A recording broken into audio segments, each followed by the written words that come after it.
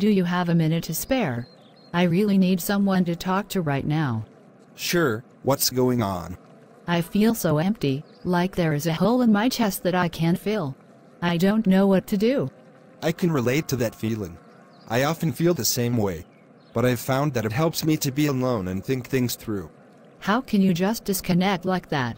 Don't you ever want to be close to other people? Don't you care about anyone else? I do care about people, but I find social interactions to be draining.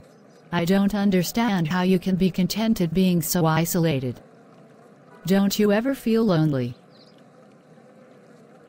I don't get how you can be so detached from other people all the time. I find most social interactions to be draining and stressful. But that doesn't mean I don't care about people. I just prefer to keep my distance.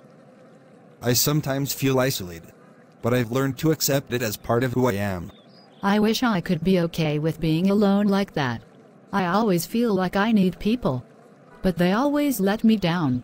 I feel like I need people so much, it hurts a lot of the time, and I don't know how to cope with these feelings. I'm sorry you're going through that. It's not easy to deal with intense emotions. Be strong, and you'll find a way to get through it. Thank you for saying that. But I don't know if I can do it by myself.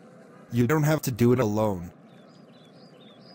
There are people who you can ask for help. Professional people who have the skills to understand what you are going through.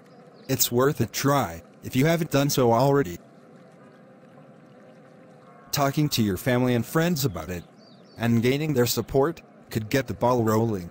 I'll try to remember that. Thank you for talking to me. You're welcome. Take care.